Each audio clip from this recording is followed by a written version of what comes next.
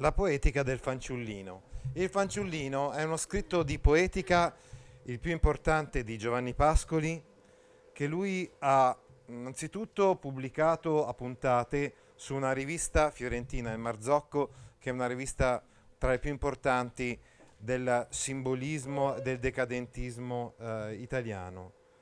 Poi però ha completato questo scritto proprio in vista di una pubblicazione, di una specie di libretto e, che condensa tutta quanta la sua poetica.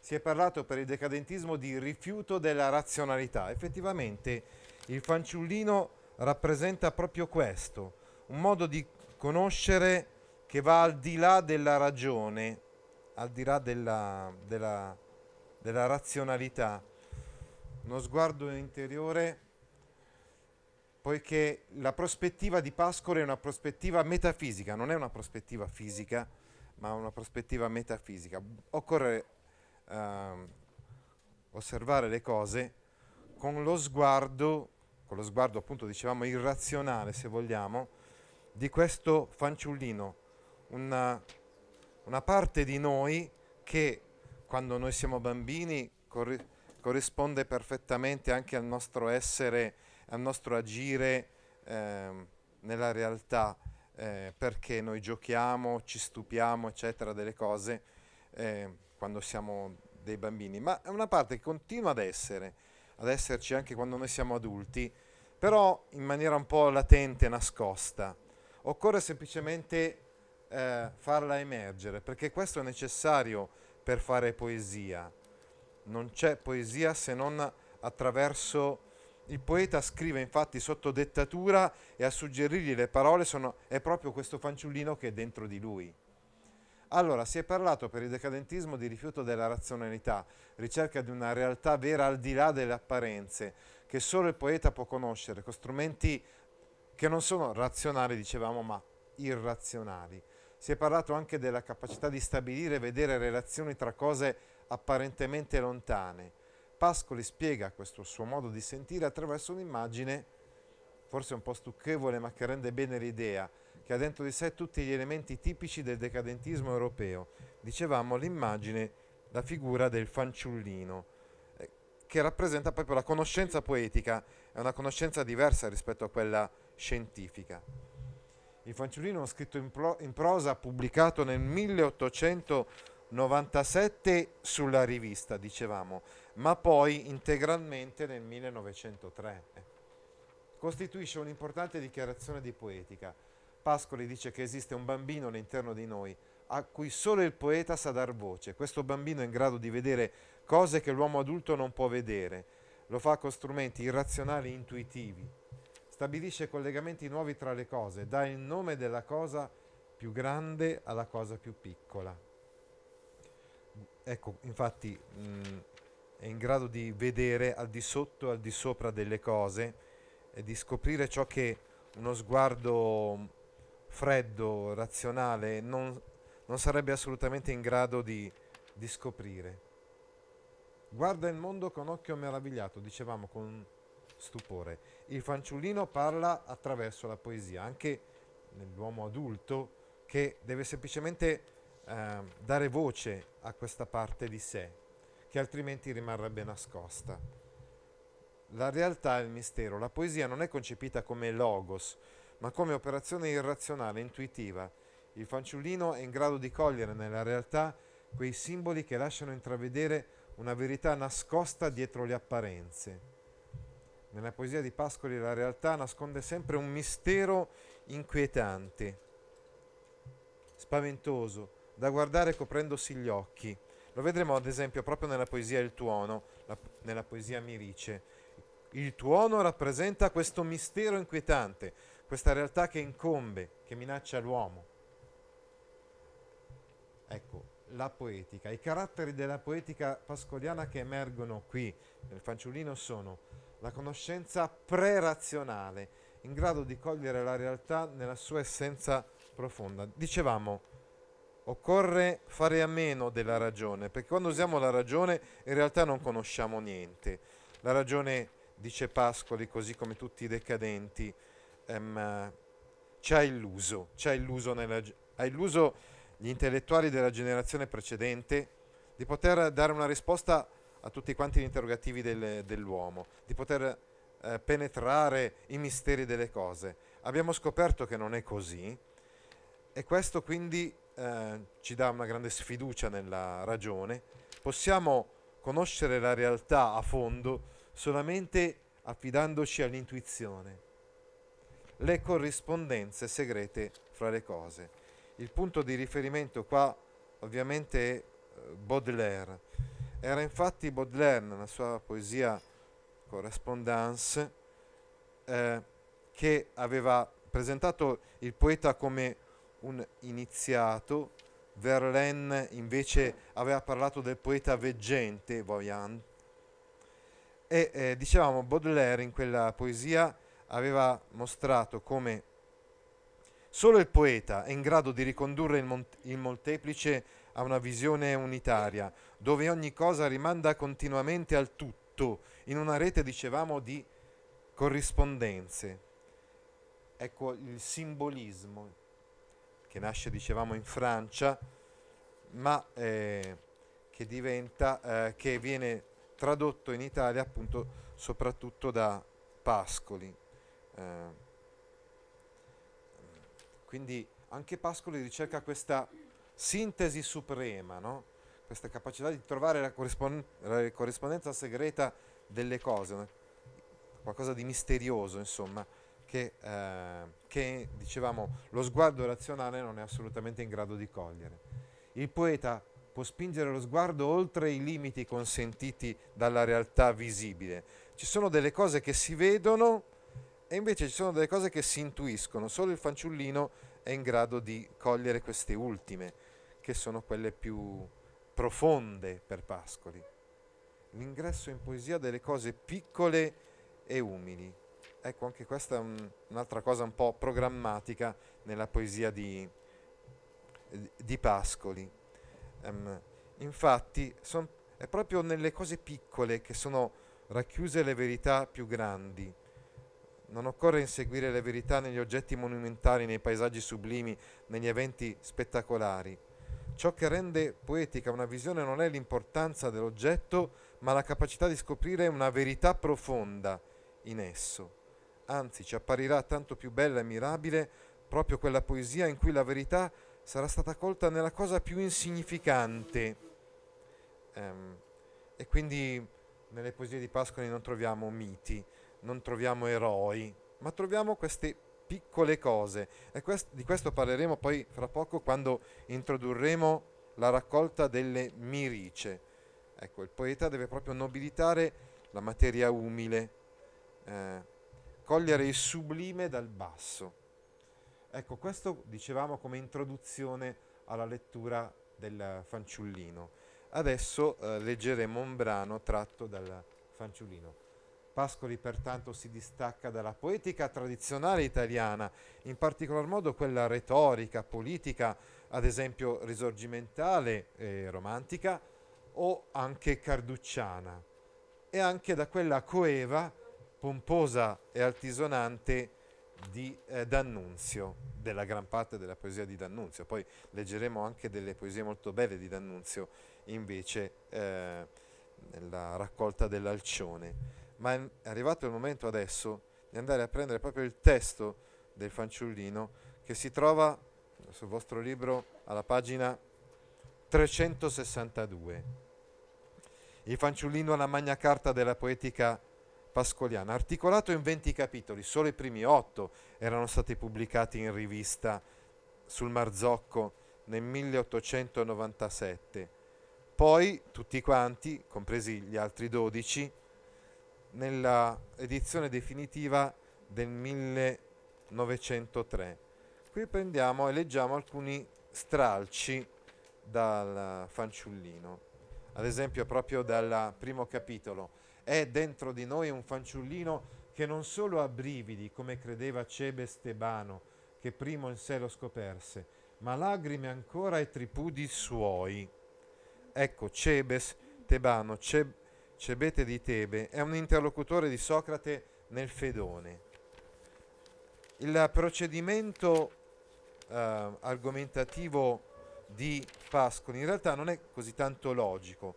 L'unica cosa a cui certe volte fa riferimento è l'autorità, l'autorità adesso vediamo in questo caso di Platone, piuttosto che di mh, mm, Omero, Dante, Virgilio e Orazio, ma non procede in modo logico, proprio perché il, il suo è un procedimento analogico sia in poesia, potremmo dire, sia nello scritto di poetica, appunto del, del fanciullino.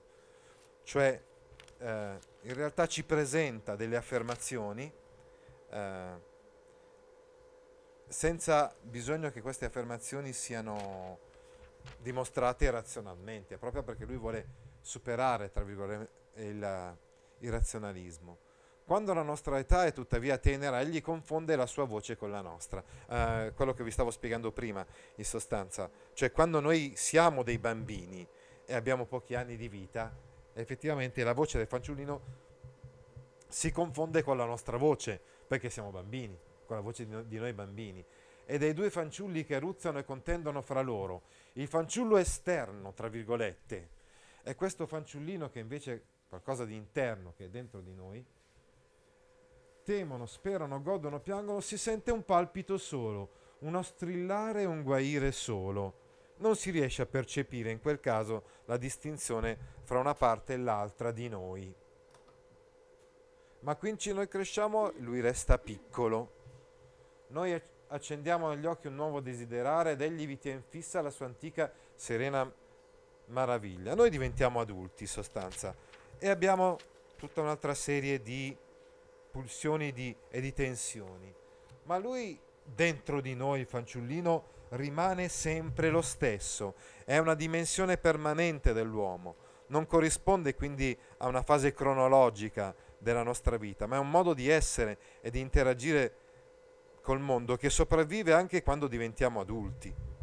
Rappresenta, dicevamo, se vogliamo, la, sfera, la nostra sfera irrazionale, che non obbedisce al controllo della ragione, e quindi eh, una parte di noi irrazionale anche quando noi diventiamo adulti e così eh, freddi e calcolatori.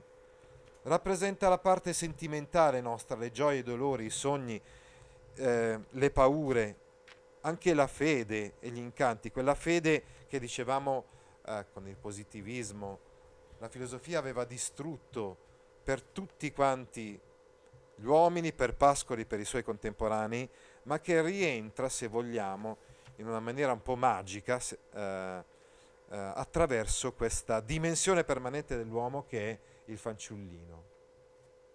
Noi ingrossiamo e, arru- arrugginiamo la voce ed egli fa sentire tuttavia sempre il suo tinnulo squillo come di campanello, il quale tintinnio segreto noi non udiamo distinto nell'età giovanile, forse cose, così come nella più matura, perché in quella occupati a litigare per orare la causa della nostra vita, meno badiamo a quell'angolo d'anima donde esso risu- risuona. Ecco, dicevamo, viene eh, un modo di operare di, eh, di Pascoli, a, a, dal momento che eh, a, abbiamo detto che non vuole operare per, in modo logico, è quello di eh, formulare enunciati incontestabili, è dentro di noi un fanciullino, oppure operare per immagini, per similitudini, ad esempio la similitudine del campanello, lo squillo come di un campanello, il timbro di voce del fanciullino resta sempre squillante e argentino, acuto e trillante, il tinnulo, anche quando noi diventiamo, uh, diventiamo grandi, diventiamo adulti. Per Pasqua il fanciullino la parte di noi che conserva i caratteri della curiosità, dello stupore rispetto a ogni cosa, propri dell'infanzia. In tutti si fa sentire nell'età infantile, quando confonde la sua voce con la nostra. Una volta cresciuti, distratti dalla vicenda della vita, non siamo a nostro malgrado capaci di ascoltare la vocina.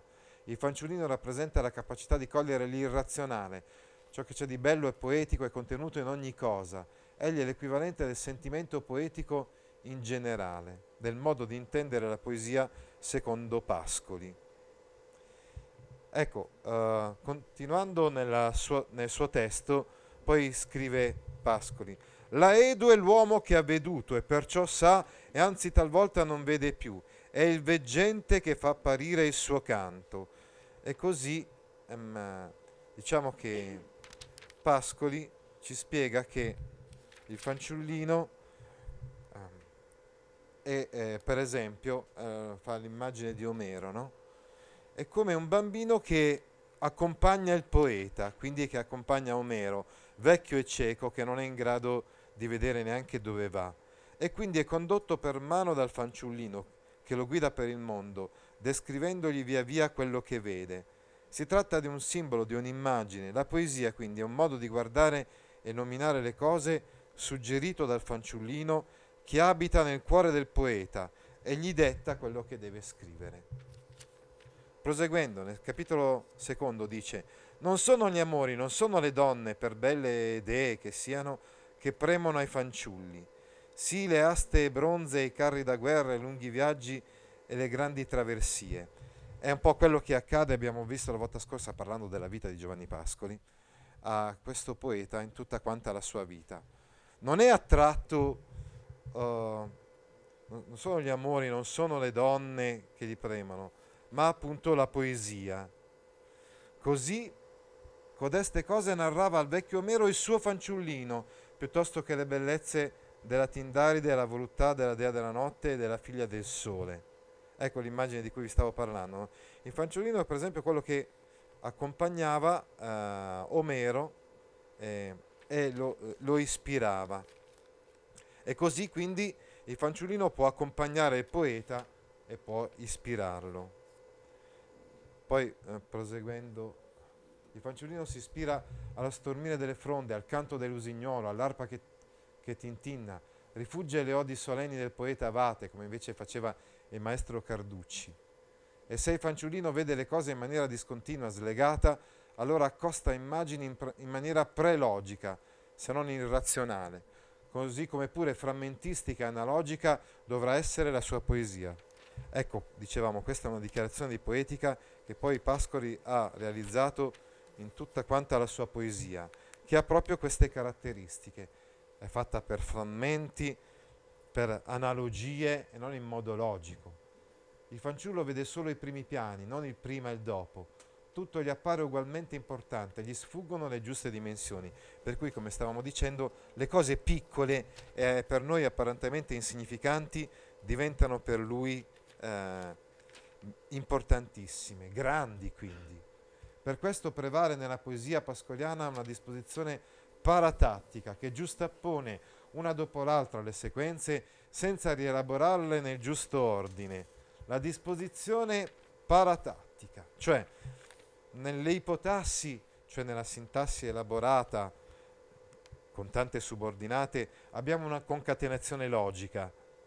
Invece nella paratassi abbiamo una cosa accostata accanto all'altra senza, eh, senza legami logici. Eh, il fanciullo non soffre di complessi di superiorità nei confronti della natura, semmai si immerge in essa, parla con gli animali, parla alle nuvole, si immedesima coi fili d'erba. Le sue parole sono quelle incontaminate della gente semplice di campagna, parlate dialettali, gerghi d'arte, di mestieri, tutto contribuisce a ringiovanire l'espressione poetica. Le facoltà del fanciullino nella loro primitiva semplicità permettono un livello di conoscenza superiore rispetto a quello che gli uomini possono raggiungere con i sensi e con la ragione. Pascoli, attuando un rovesciamento del positivismo, crede che la scienza, anziché esaltare l'individuo, l'abbia reso consapevole dei suoi limiti. Insomma, la scienza ha dato solo tanta, uh, tanto disagio e tanta infelicità agli uomini perché li ha resi consapevoli dei suoi limiti. È un po' la stessa cosa, se vogliamo, che diceva anche Leopardi. Però Leopardi era come se dicesse, comunque, a questo punto non posso fare a meno di, quast- di questo arido vero, di questa arida verità. E fa anche della filosofia razionale, oggetto di poesia, la inserisce insomma nelle sue poesie, come abbiamo visto con le sue riflessioni sulla natura, ad esempio. No? Al contrario, Pascoli riconosce come Leopardi che la visione, la filosofia moderna ci ha tolto la felicità, ci ha fatto conoscere i limiti, ma poi decide di, di non inserire nella sua poesia questa filosofia, anzi proprio per questo motivo decide di farne totalmente a meno, perché oggetto della poesia è tutt'altro, insomma, rispetto alla filosofia. Oggetto della poesia è questo stupore irrazionale, così simboleggiato da questo fanciullino. Ai poeti è dato infatti il compito di superare gli schemi interpretativi della realtà. Il poeta è in grado di cogliere il mistero che si nasconde sotto le apparenze, poiché conserva intatte le facoltà del fanciullino. Credo che adesso abbiamo un'idea abbastanza chiara del metodo che adotta Pascoli nel comporre poesie e adesso lo vedremo ben semplificato eh, iniziando a leggere i suoi testi. Adesso capiremo cosa accade di nuovo, di originale, di novecentesco se vogliamo, nelle poesie di Pascoli, cioè che lui non, eh, esprime e trasmette le cose non in modo logico, razionale, così come è avvenuto nella poesia italiana appunto fino a Carducci. E bisogna invece cogliere quello che lui vuol dire attraverso altri procedimenti, ad esempio attraverso i procedimenti fonici. Ecco il motivo per cui si parla di fonosimbolismo pascoliano, nel senso che proprio attraverso le onomatopee il, e, e, altri mh, diciamo, elementi che, appart- che appartengono al linguaggio pregrammaticale che lui riesce a rendere, i simboli che vuole rendere.